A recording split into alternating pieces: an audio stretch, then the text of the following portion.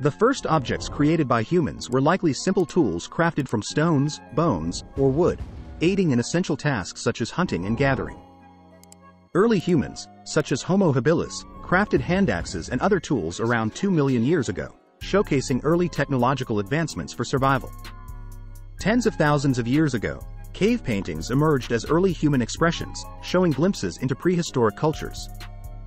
Around 10,000 BCE, the development of pottery and ceramics represented a major leap, enhancing food storage and cooking capabilities. Around 3500 BCE, ancient Mesopotamia saw the rise of early writing on clay tablets, like cuneiform inscriptions, shaping the path to civilization.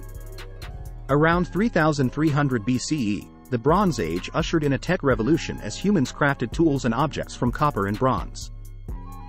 Subscribe to get the latest facts on human technology through different times.